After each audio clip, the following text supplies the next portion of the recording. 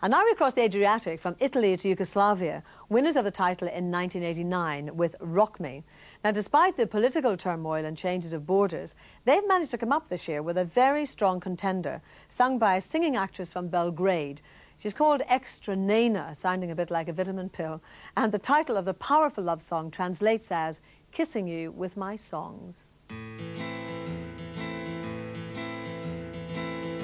Boga molila. Neka mi snage da Da oprostim ti sve. Zaboravim što pre One duge molitve. Još si na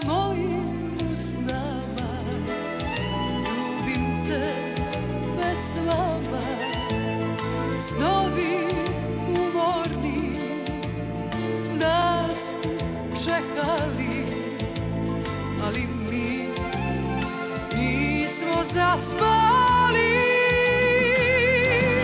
Zora je čaše dve razbila